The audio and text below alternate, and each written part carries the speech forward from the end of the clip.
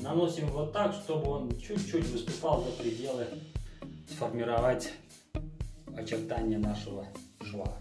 Итак, теперь наш герметик должен застыть. Дверь практически не шевелится, плотно сидит на герметике. Теперь нам нужно сделать так, чтобы эта дверь открывалась.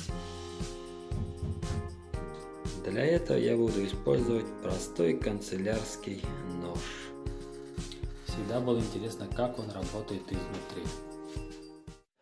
А, друзья мои, всем привет! А, в этом видео я буду делать э, люк скрытого монтажа еще менее заметным.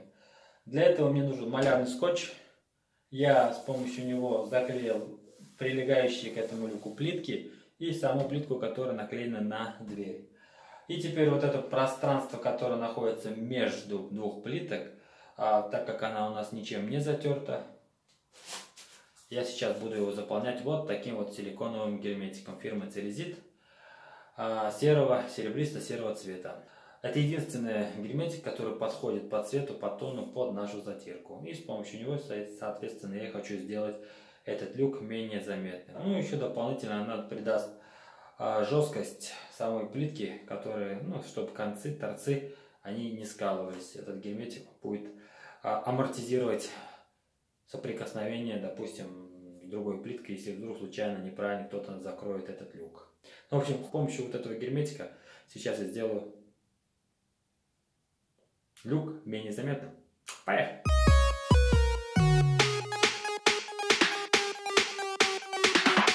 Так, берем герметик и начинаем его наносить. Наносим вот так, чтобы он чуть-чуть выступал за пределы самой плитки, потому что мы его будем потом с помощью шпателя убирать излишки.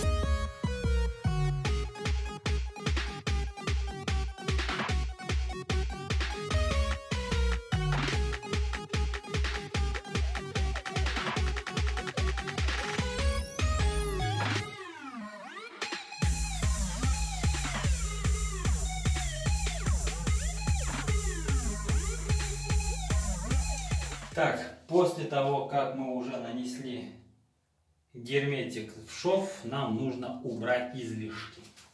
Для этого берем мыльный раствор. Ну, тут вода, короче, перемешанная с мылом. И шпатель для того, чтобы собрать излишки герметика. Ну, само собой, туалетную бумагу, чтобы со шпателя потом снимать этот самый герметик. Мочим шпатель в мыльном растворе и аккуратно начинаем собирать излишки герметика. Я использую вот эту радиусную сторону для того, чтобы сформировать очертания нашего шва.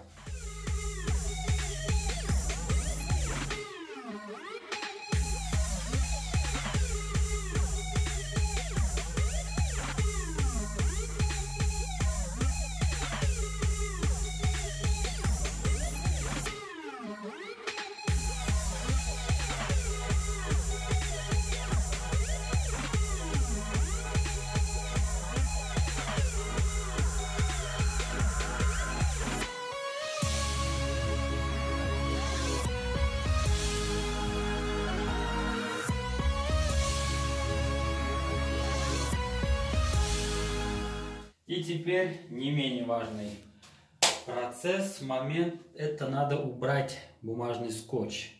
Это нужно сделать именно сейчас, пока герметик у нас еще не застыл. Аккуратненько убираем.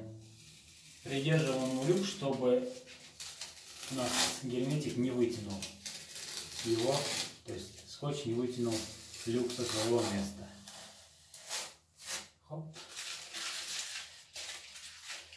Скотч еще забирает излишки герметика, которые были случайно нанесены на него.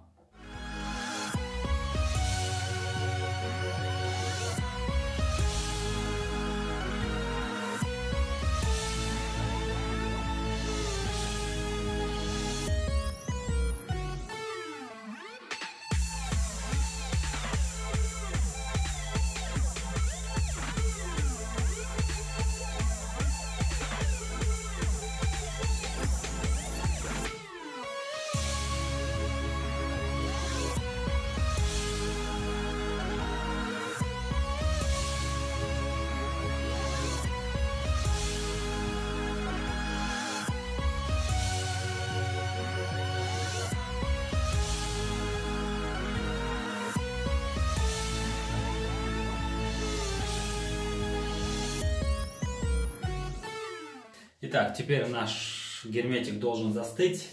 Даем ему отстояться, ну, примерно, желательно сутки, чтобы он был не... Его не тревожить, не трогать, пускай он застывает, засыхает, и уже потом мы должны будем открыть эту дверку. Ну, естественно, я вам это покажу, но только чуть позже. На этом пока у меня все.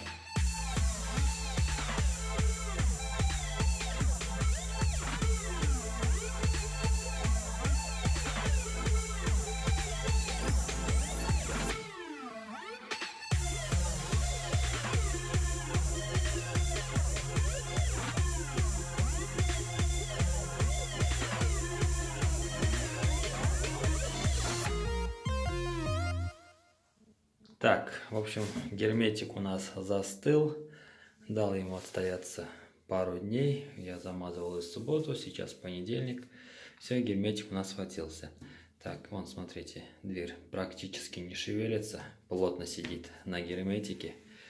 Это еще один пример того, что можно заклеить что-нибудь на герметик, если у вас будет такая необходимость. Так, и теперь нам нужно сделать так, чтобы эта дверь открывалась. Ну а как это мы будем делать? Для этого я буду использовать простой канцелярский нож. Но ну, для этого, чтобы э, сделать хороший разрез, мне нужно поменять лезвие, поставить новое. И с помощью него под углом 45 градусов я буду прорезать силикон по всему периметру данного люка. Ну и потом уже нужно будет нам его каким-то образом открыть, для того, чтобы сделать его более-менее в рабочем состоянии. Ну что ж, сейчас я вам покажу, как это все должно происходить. Пока пойду лезвие менять.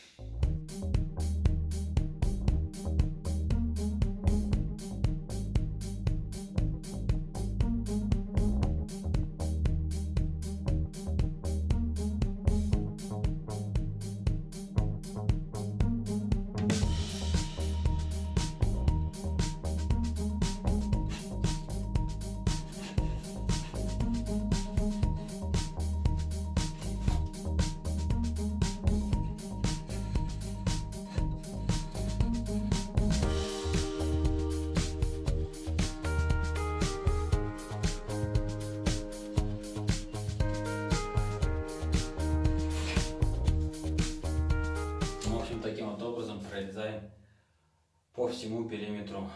Аккуратненько, не торопясь. Все желательно сделать это с первого раза. Так, и теперь пытаемся открыть наш люк. Просто так, конечно, он не поддастся.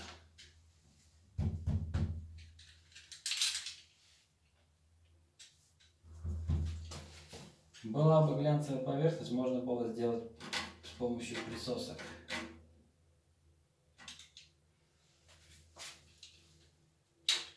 Так, и теперь, когда мы открыли наш люк, обратите внимание на то, как сделан срез. Ну, такой вот еле заметно, в общем, под углом по всей длине. Так, и теперь для того, чтобы люк у нас в дальнейшем хорошо работал, нам нужно убрать вот эти остатки герметика, которые остались на второй части нашей плитки. Ну, также с помощью канцелярского ножа так плавненько соскребаем остатки герметика. Чтобы предотвратить залипание и чтобы люк во время закрывания не цеплялся за остатки герметика и работал спокойно, без особых принуждений. Так, в общем, вот так вот чистим по всему периметру остатки герметика. Вот он здесь у нас по всей длине заметный. Ну, даже такая вот незначительно маленькая часть герметика может помешать вам а, спокойно открыть люк скрытого монтажа. Так, и вот здесь тоже вот его очень много.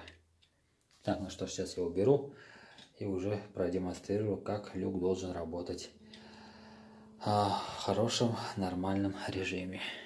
Прикладываем сначала один конец и потом постепенно прижимаем второй. Так, вот, таким вот образом он у нас защелкнулся. И теперь, чтобы отщелкнуть, нажимаем еще раз.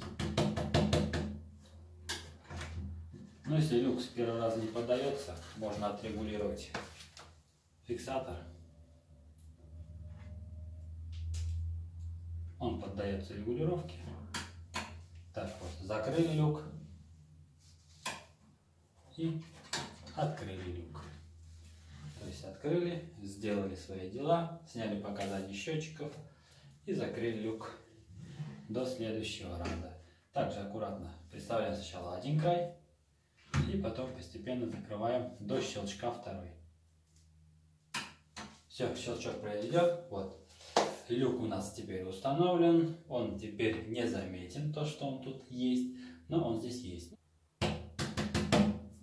Не всегда срабатывает, но можно отрегулировать крепление, толкатель, для того, чтобы он лучше это делал. Но не всегда, конечно, это получается. Толкатели бывают слабенькие и поэтому не всегда он выталкивает люк как нужно. Ну, для таких целей, конечно, могут, можно придумать ручку, можно придумать присоску, потому что чем больше люк, тем тяжелее его открывать.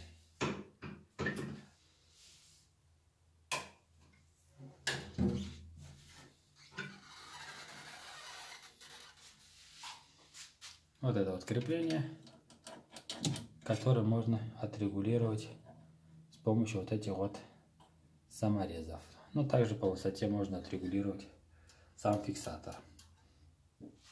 Так, ну также вот этот а, фиксатор для ролика. Ну и сам ролик, который тоже можно подрегулировать по нужному вам размеру. Так, ну что ж, на этом у меня все. Вот такой вот люк скрытого монтажа.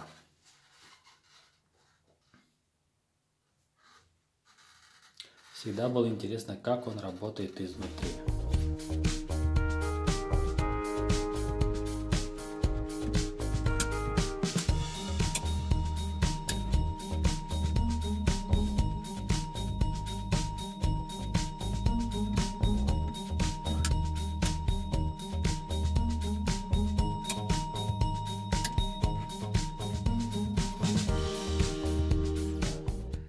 Так, друзья, на этом я хочу завершить э, видео о том, как я сделал люк скрытого монтажа, а, как я его сделал невидимым. А, ну, как видите, все это довольно-таки просто, легко. Если кто-то вдруг захочет сделать это самостоятельно, то, пожалуйста, только в путь. Так, ну на этом я заканчиваю. Всем спасибо за внимание. И если вам это видео было полезным, то пальчик вверх, подписка на канал и пишите в комментариях, э, возможно у вас есть какие-то вопросы, которые бы вы хотели задать лично мне э, по поводу ремонта или чего-нибудь другого. Ну на этом все. Всем спасибо за внимание и до новых встреч на канале Перестройка 116. С вами был как всегда Ленар. Пока-пока.